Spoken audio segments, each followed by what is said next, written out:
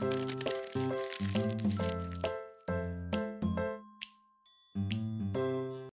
All right, guys, we said Microsoft was going to have two surfaces, but we didn't think they will actually make a laptop. This is the Surface Book from Microsoft. This is what they call the ultimate laptop, and really it shows. It's magnesium build design, it's slick, it is lovely and this thing packs a punch. Now, in terms of uh, overall size, it's 13.5 inches. The display resolution is 3000 by 2000 with a nice PPI ratio there. It's got a 13.5 inch pixel dense display. We'll talk about that in a second. Now, it also comes with a new Surface uh, pen, and that pen has a 1024 points of touch, so it gives you better control, better flexibility, and of course, you can latch it to the side of your Surface uh, book right there with the magnetic lock. Now, it's got a really cool feature uh, with the build there. You see, it's got this nice gray look to it. I wish they will come out with future different colors in the future, but you can actually undock the uh, the Surface uh,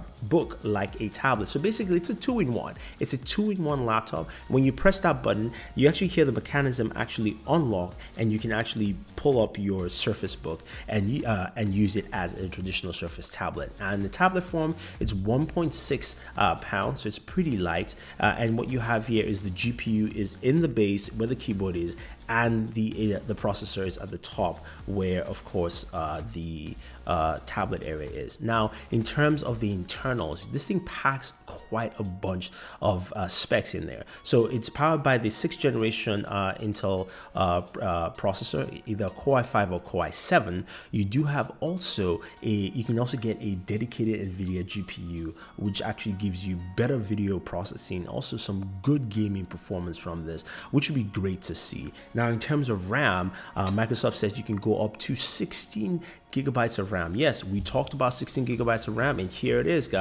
And your storage options go from 128 all the way up to one terabyte. Very slick looking device. That hinge there that you you see is similar to what we saw from the Yoga 3 Pro from Lenovo. It looks like they've borrowed some of that design here. It looks pretty nice. It's got two USB 3.0 ports. It's got a display port. It's also got a SD card slot. Now, this is the keyboard here. It's a nice keyboard, well fleshed out, backlit with a glass trackpad very nice and very it really is nice to use and handle i like what they've done. The keys are well raised up so you actually get some good um, um, typing on the keys there. So just taking a look at it and it really functions and works like a traditional traditional laptop. You can of course edit your documents, Word, PowerPoint, Excel. You can also go ahead and have uh, Adobe um, uh, Photoshop or Premiere Pro on there. We actually had Adobe there on site. They were showcasing uh, Premiere uh, software on their editing video to see how well it actually performs in editing video, which is actually pretty cool. This is something I think a lot of people will definitely like in that space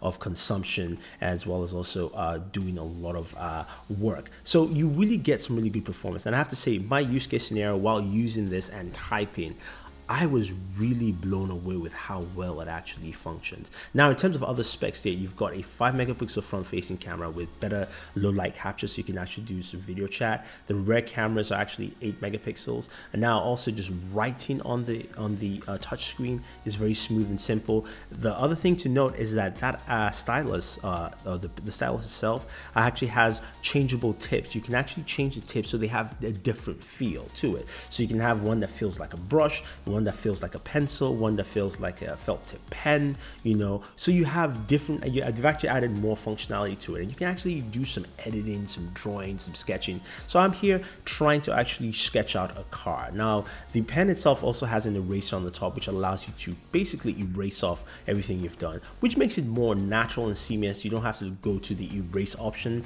on, um, on your device anymore. You can just basically flip it around and erase whatever you're doing. So I do like that about it. Now, overall, this is a wonderful looking device. This much thinner bezel. It's a really, it's a high performing um, uh, laptop from Microsoft. Of course, that is a two in one. Now, pricing for this starts at one thousand uh, four hundred ninety nine and goes all the way up to twenty six hundred. So, uh, uh, thousand four ninety nine, you're going to start off with the Core i5 with one twenty eight gigabytes uh, with no dedicated GPU, and you go all the way to twenty six ninety nine, where you do have, of course, I think believe it's stated as a 512 um, or one terabyte with a dedicated NVIDIA GPU and 16 gigabytes of storage. So guys, that is the Surface Book. I have to say, I absolutely love this thing. I can't wait to get my hands on it. But if you have any questions, any comments, let us know. Don't forget to like and share this video, subscribe to the channel, and enjoy your entertainment.